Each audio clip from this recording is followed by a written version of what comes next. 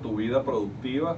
Bueno, estamos, por cierto, en el ciclo de la máquina financiera, poder construir cada uno de nosotros su propia máquina financiera y aplicar también el fitness financiero.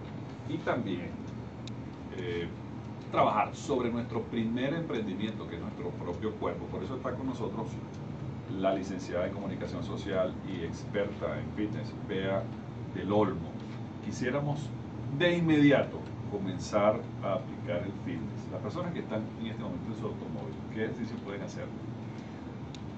Pueden primero tomar conciencia de la postura que tienen al manejar y si tienen cierta algún dolor de espalda, capaz corregirlo con eh, una postura adecuada. con una postura adecuada, tomar conciencia de que tenemos una postura que nos hace daño y corregirla. Y respirar, por ejemplo. También podemos hacer ejercicios de respiración.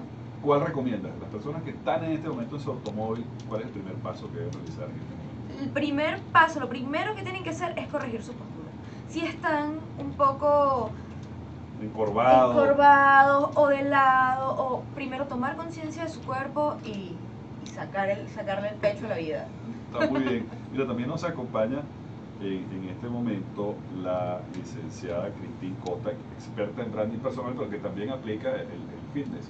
¿Qué, ¿Qué, puedes recomendar a los automovilistas que en este momento nos están escuchando? Mira, lo primero que tiene que hacer una persona al salir de su casa es salir desayunado. Es una condición importante para salir sin estrés de tu casa.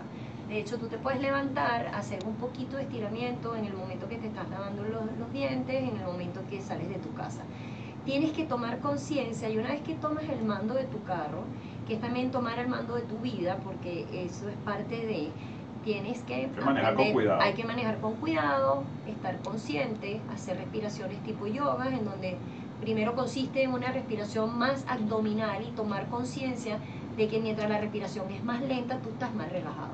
Excelente, bueno, queremos agradecer a Bea del Olmo y a Cristín Costa por estar aquí con nosotros. Esto es Herencia para Todos.